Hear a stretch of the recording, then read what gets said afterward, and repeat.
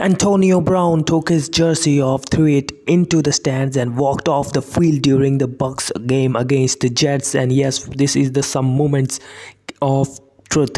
And we're going to see the official reports that this has happened. And yes Bucs uh, wr antonio brown took his uniform off along with his equipment threw it into the stands and left the field. Of course he did. Yes do leave a comment down below this video needs your opinion as we're going to see the official report.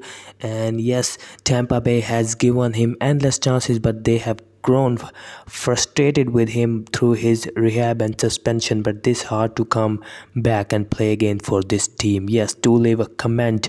Do leave a comment as the comment section. Is down below is open for you. And yes give this video a big, big thumbs up button. Share this news.